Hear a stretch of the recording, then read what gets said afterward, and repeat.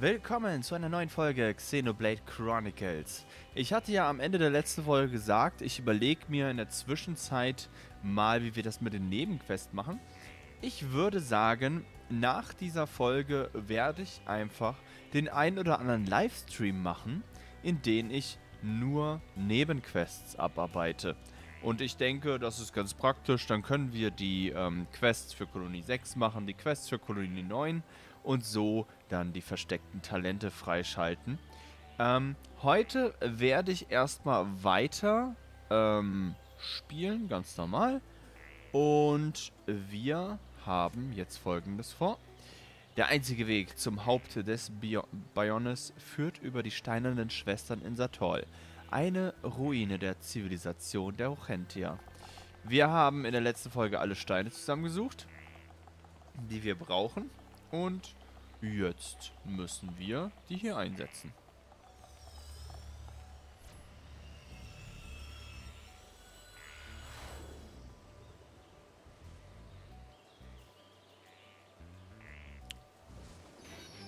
Und natürlich müssen wir jetzt erstmal einen Gegner besiegen. War ja auch klar.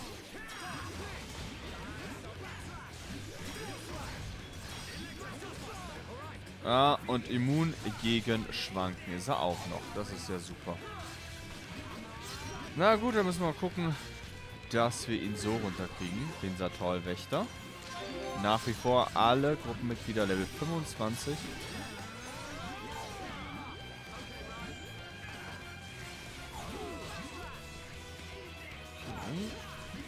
Hat keine Aura. Aber so.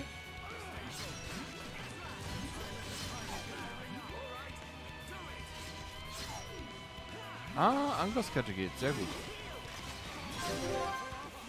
Na, versuchen wir es mal jetzt so.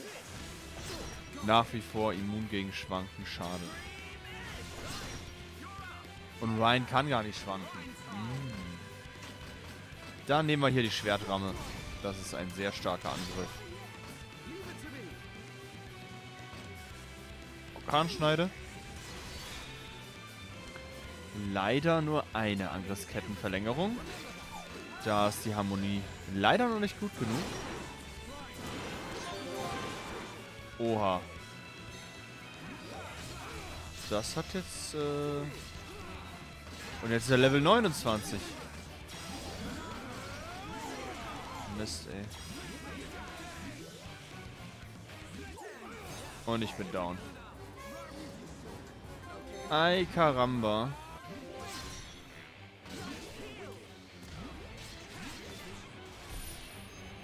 Machen wir das jetzt? Wie machen wir das jetzt? Giftstich Ultra 3.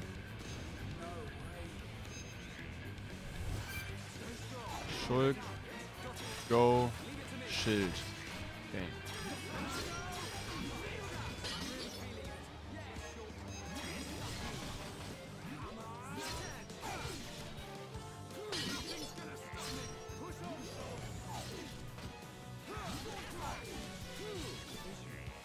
Jetzt kommt nochmal eine Vision.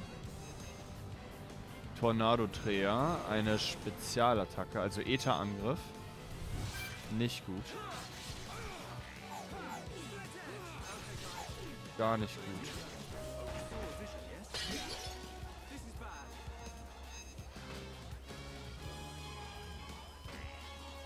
Ich wüsste nicht. Das, nee. Funktioniert einfach nicht.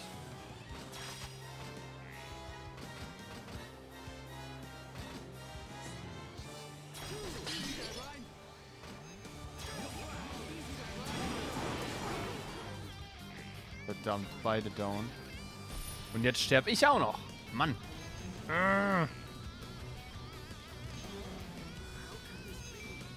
Komm. Und jetzt hat er mir mein Todesblütentanz gekillt.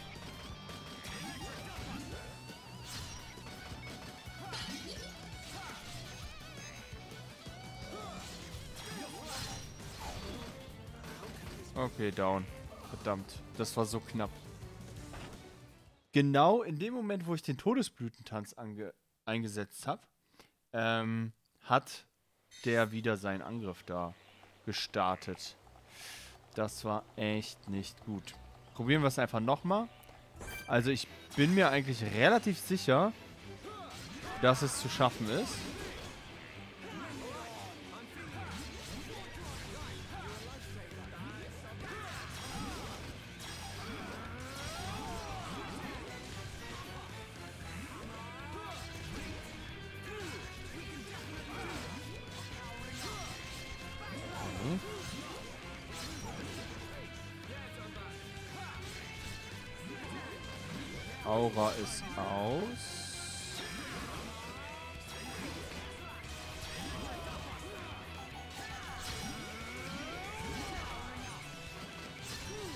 Ich muss die Gruppenleiste voll kriegen. Und dann muss ich full auf Damage. Eieiei.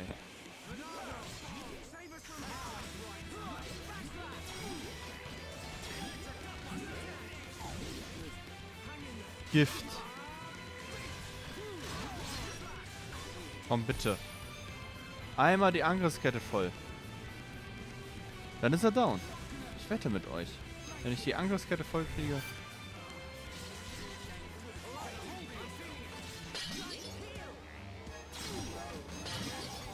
Nee, toll. Kriege ich nicht mehr voll.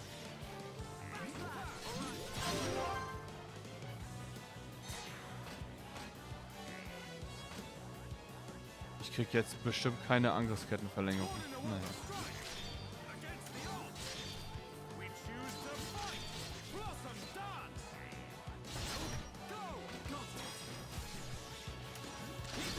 Eine, toll. Noch eine.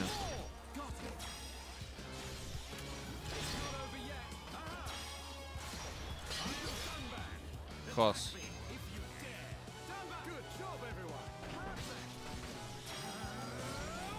Jetzt muss er nur noch down gehen. K krass. Das war jetzt so knapp. Oha. Ich hätte jetzt nicht, echt nicht erwartet, dass ich das noch schaffe. Aber geil. Nice. Mit Level 25. Okidoki, dann wollen wir mal. Ab nach oben.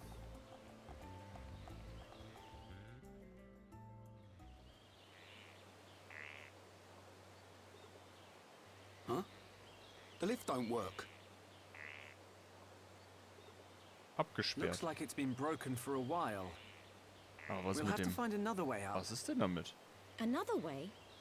You don't mean climb up there? We may have to. Come on, you can't be serious. Why'd someone build a lift that don't work? No complaining. Let's start looking for a place we can climb up. Lässt sich leider nichts machen. Dann müssen wir klettern. Ähm, jetzt müssen wir nur gucken. Scheint versiegelt zu sein. Also, der Aufzug ist versiegelt. Toll. Naja, dann klettern wir mal hoch. Da sind auch schon Ranken, an denen wir hochklettern können.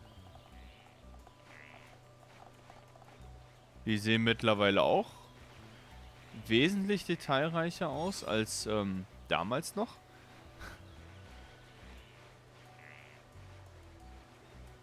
Wir kommen. Uah, nein. Ja, sehr gut. Halleluja. So, Dämmerungswürfel.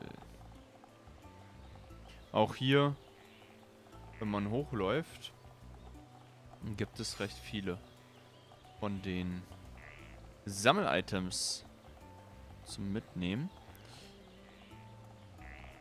Aber wir gehen mal hier hoch.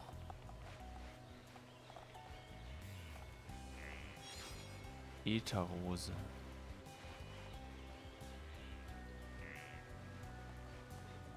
Und... Gucken wir erstmal kurz. Da ist doch wieder eins.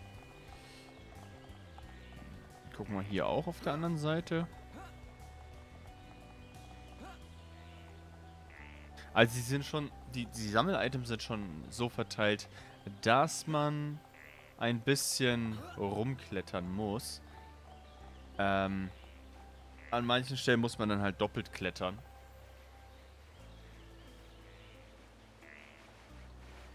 Wen haben wir denn da oben? Nebelrogel.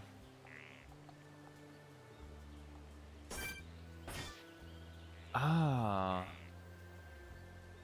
Auf der Brust von der einen, einen äh, steinernen Schwestern ist eine Ätherader zum Abbauen. Aber das werden mit Sicherheit auch wieder Stufe 2 Kristalle sein, deswegen baue ich die jetzt nicht ab. Ich habe mittlerweile genug Stufe 3 Kristalle ähm, gecraftet. Und ich denke, dass ich erst wieder Juwelen schmiede, wenn ich Stufe 3 Adern abbauen kann und dann halt dementsprechend Stufe 4 Juwelen schmieden kann. Da geht's noch weiter hoch. Aber Sammel-Item wieder mitnehmen. Da, linke Seite ist auch wieder was. Gipfel der Schwestern erreicht.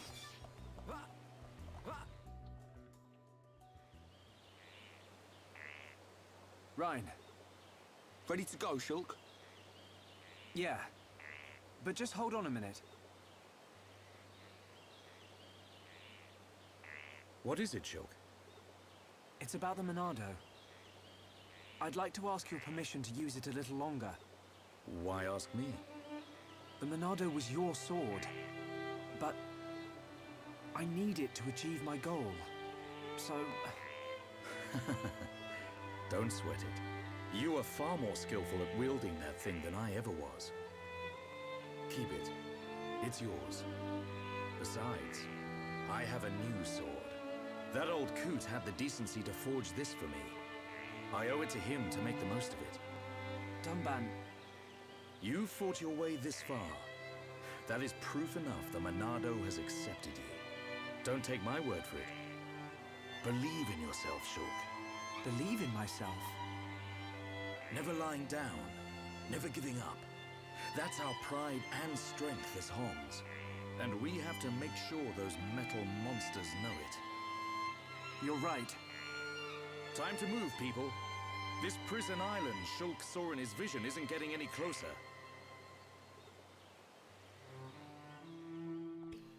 Sehr verständnisvoll, der Dunban. Aber ich glaube, es ist sowieso besser für ihn, dass er ein normales Katana-Schwert, ein normales Katana benutzt. Ich glaube, mit dem Monado hätte er eh nur Probleme. So, jetzt sind wir in der unteren Luftröhre des Bionis. Der erste Abstecher in das Innere. What is this place? It's giving me the creeps. Hmm. At a guess, I'd say we're inside the Bionis. what is it, Shulk? Oh, nothing. It's just that it feels like the Bionis isn't really dead. Huh? Wait a minute, Shulk. If the Bionis starts moving around, things won't look good for us. Let's just keep moving. Right. Tja, stellt sich das einmal einer vor, dass Bionis auf einmal wieder erwacht.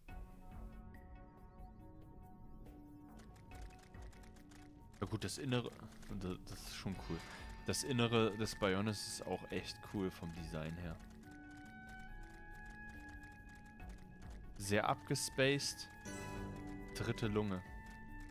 Ja, ganz wichtig zu wissen, Bionis hat mehrere Lungen. Äh. Äh, lol. Das war... Nee. Ist ja geil. Das war damals nicht so. Dass man da durchgucken kann.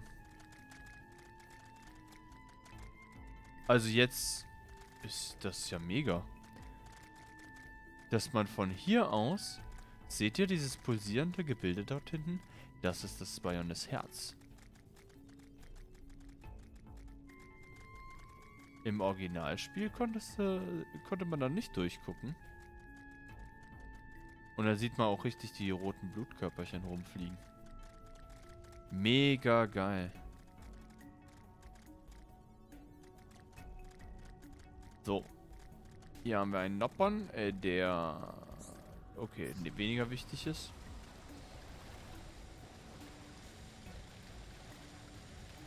Kommen wir jetzt da hoch? So, gleich. Gleich wird ausgeatmet. Also, ich weiß jetzt nicht, ob es ausatmen ist, auf jeden Fall.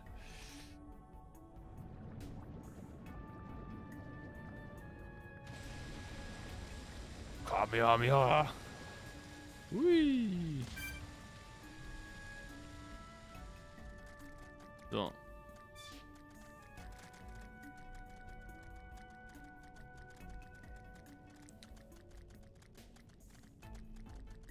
Leider nur ein sehr kurzer Abstecher ins Innere. Obere Luftröhre.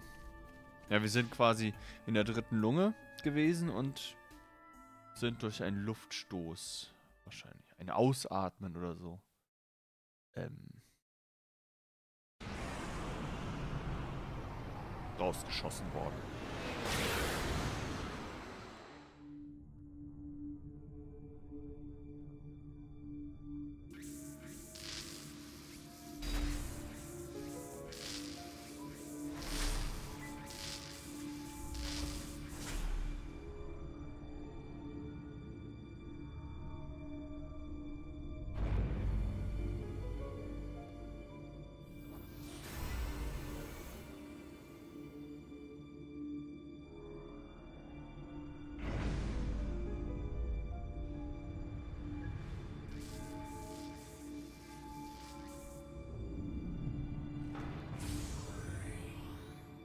Face Nemesis.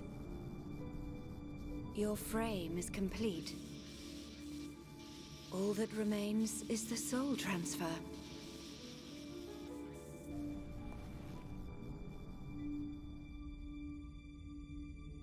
That damage. Does a weapon exist that can melt face armor? How? Lady Vinaya, Master Egil wishes to see you. Understood. Tell him I will see him when this face is complete. Acknowledged.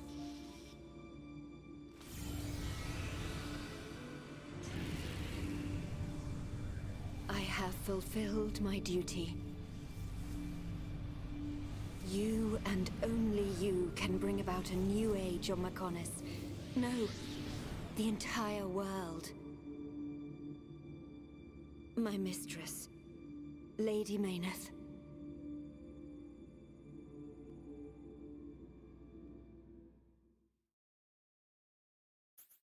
Speichern.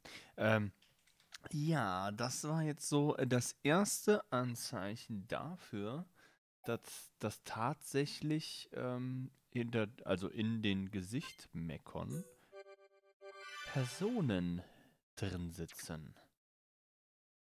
Ja, die Frage ist halt nur, wer? Magna Waldweg. Ja, jetzt sind wir im Wald von Magna angekommen. Ich finde das komisch. Ähm, also wir müssen ja oben zum Kopf von Bionis, ne? Und der Himmel hier sieht ja nicht normal aus, ne? Der Himmel hier sieht ja eher aus wie Wasser. Und tatsächlich ist da oben das Aerith-Meer, das, ähm, ja, irgendwie, keine Ahnung, wie das da oben gehalten wird. Sehr, sehr kurios. Wir müssen uns jetzt auf jeden Fall durch den Wald von Magna kämpfen. Und dann hoch zum Aerith-Meer. Damit wir nach oben kommen. Und der riesige Baum.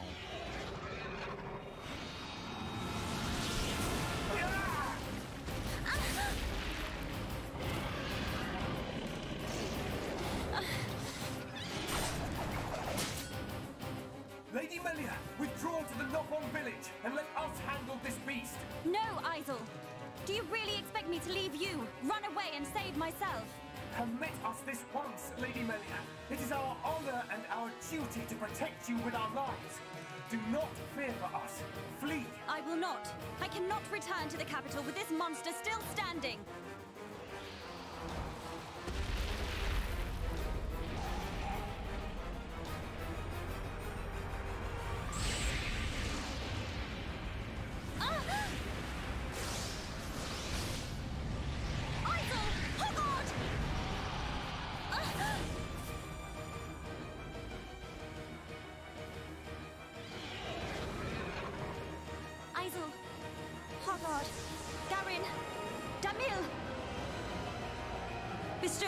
Bestow the your life unto me!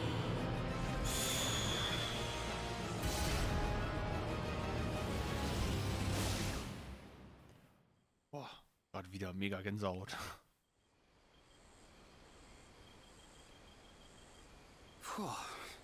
Who turned up the heat?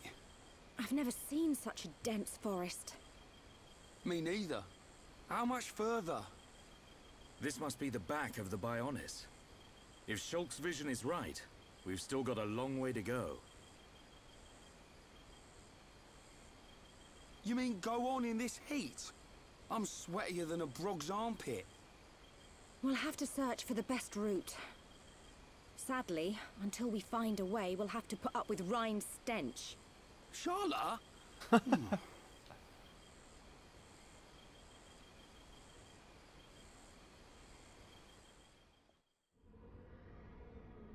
We must be outside the tower. Welcome, true heir to the Monado. Father! Weak, weak and pathetic. What or who are you? You will pay for what you've done. Ah! You will know the pain and suffering you caused the Emperor and Fiora!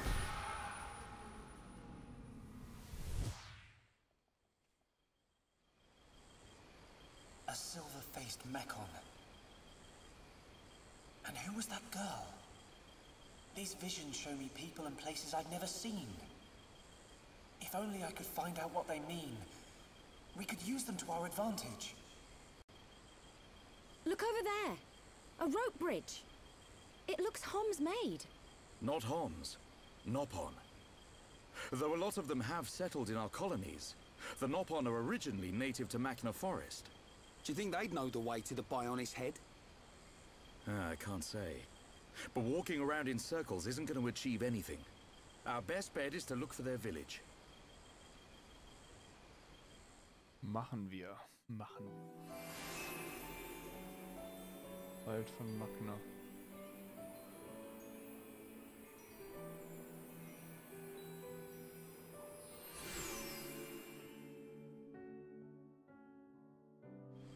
Was ich ja echt krass finde, ist, jedes Mal, wenn einem ähm, neue Charakter in Zwischensequenzen gezeigt werden ähm, und dann wieder diese Vision von, ähm, also die Vision, die wir gerade eben gesehen haben, gezeigt wird, dann macht die Vision mit jedem Mal ein bisschen mehr Sinn, beziehungsweise man hat jedes Mal ein bisschen mehr Infos und es wird schlüssiger.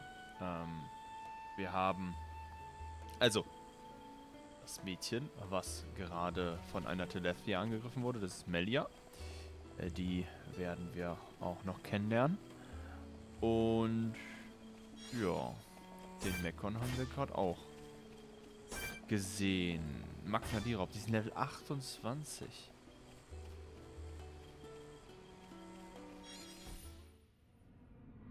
Direkt eine Vision.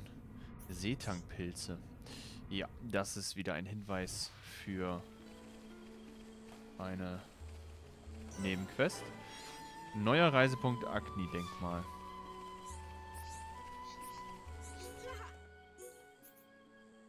Was haben wir denn hier Schönes? Überkatana. Gefahrenramme. Riesenschuss.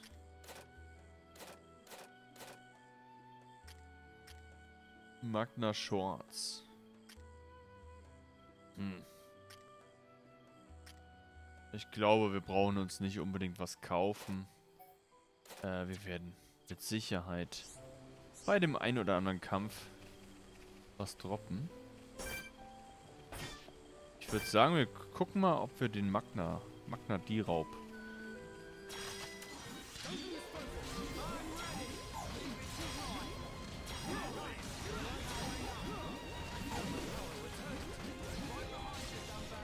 Nein!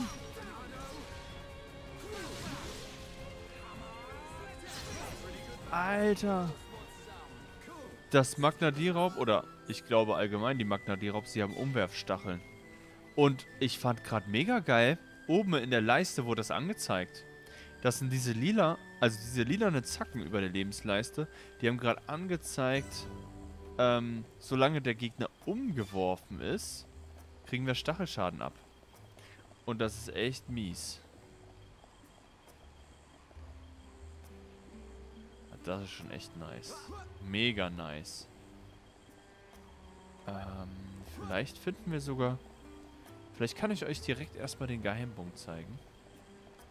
Oder... Oder wir machen das nächste Folge. Wir laufen erstmal noch ein bisschen weiter.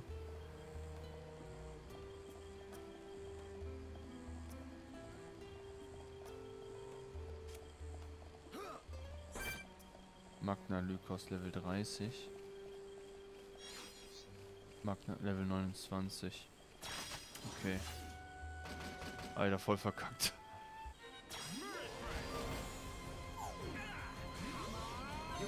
Danke. Direkt erstmal einschlafen oder was?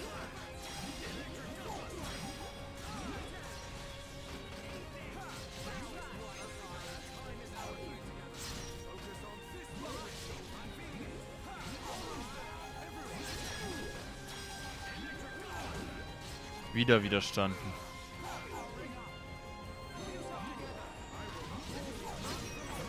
Oh, da. Nice. Lykos Gärblut.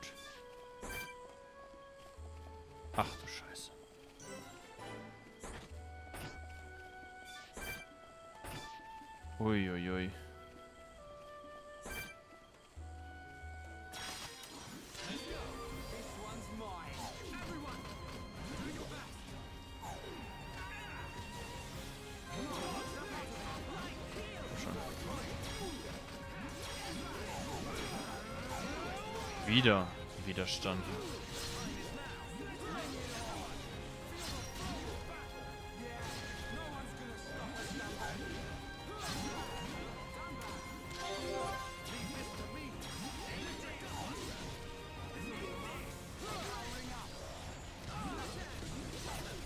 Down. Plasmaropter.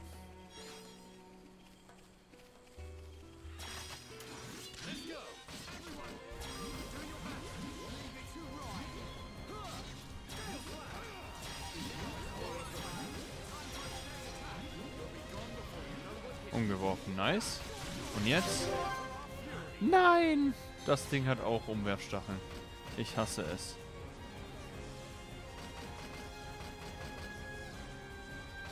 Ja, komm, hier auch Kahnschneide. Wirken die Stacheln, solange das ohnmächtig ist?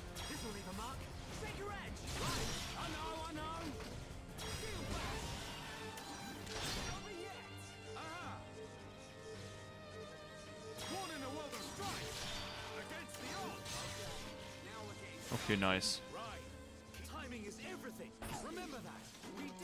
Also, da muss man echt aufpassen mit dem Stachelschaden, ne?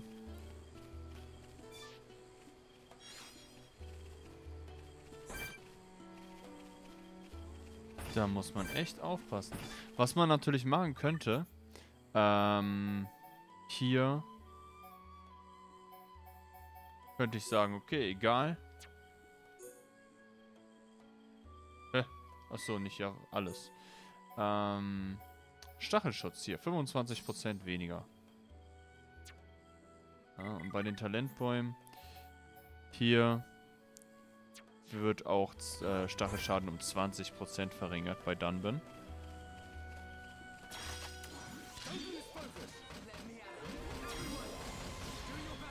Eisheulen.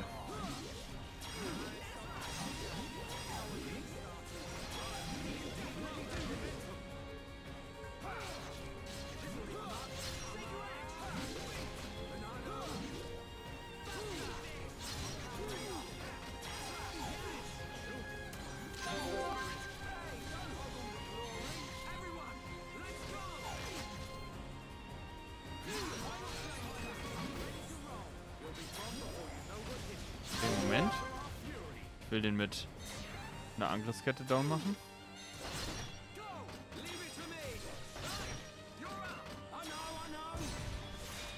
Nice. Down, down.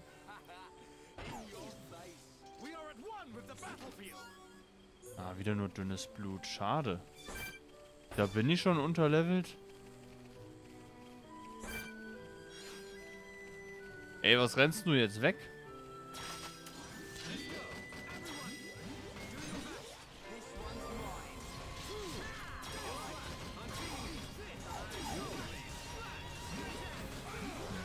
Widerstanden.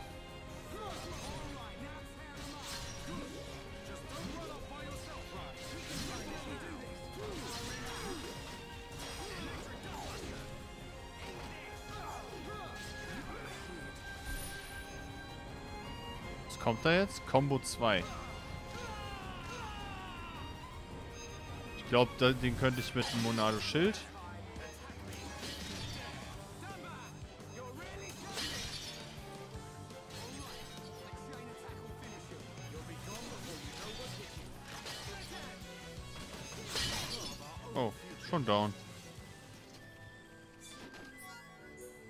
dünnes Blut.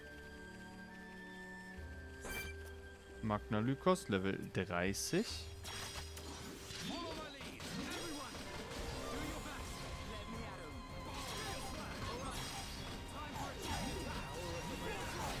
Schade. Okay. Versuchen wir mal. Rot. Nochmal rot. Nochmal rot. Daneben. Alter. Die Agilität von Ryan ist halt am Arsch. Oh.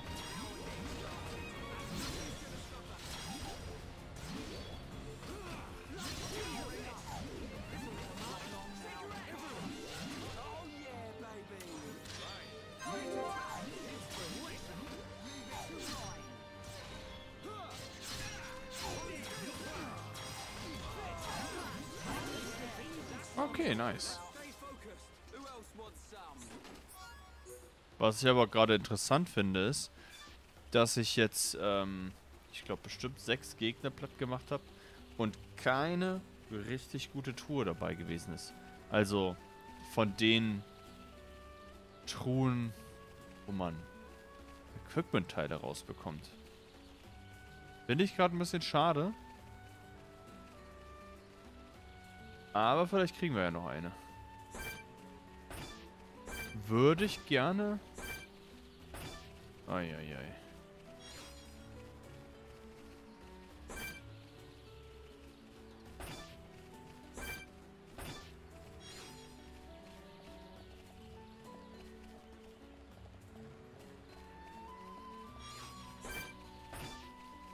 Okay, hier Plasma-Raptor.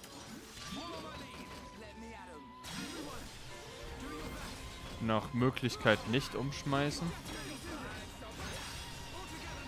Die finde ich ja echt interessant, ne? Die Plasmaroptaren. Das sieht aus, als hätte der noch zusätzlich ähm, irgendein kleines Viech mit riesen Maul auf dem Nacken sitzen. Oh. Lol. Wenn die gekillt werden, zerfallen die in zwei Teile.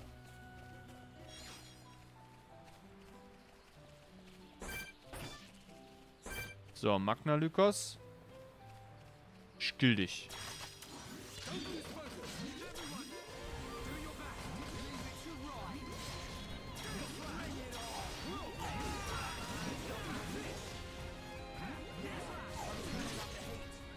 Okay, go.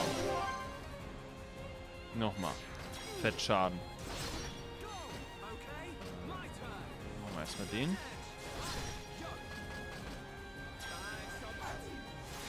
Schade.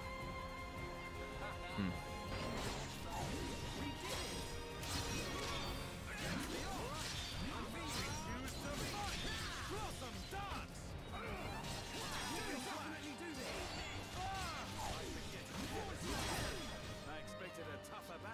Oh, das ist jetzt schon eine etwas bessere Truhe. Frostschläger.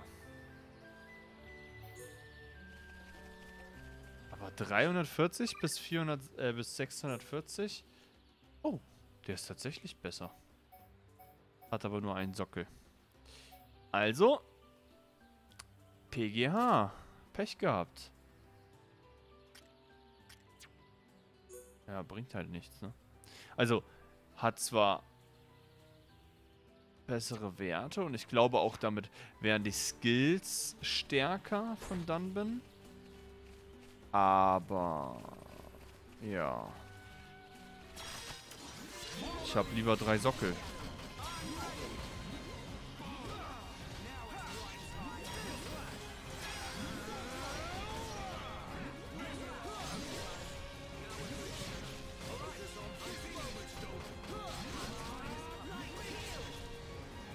Ich werfe ihn jetzt mit Absicht nicht um.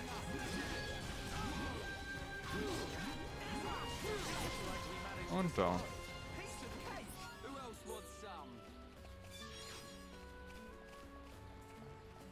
Uah.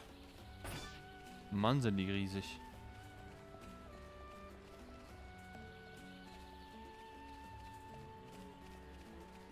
Okay. Dann würde ich sagen, an dieser Stelle machen wir einen kleinen Cut. Und wir sehen uns in der nächsten Folge wieder. Vielen Dank fürs Zuschauen. Ciao, Leute.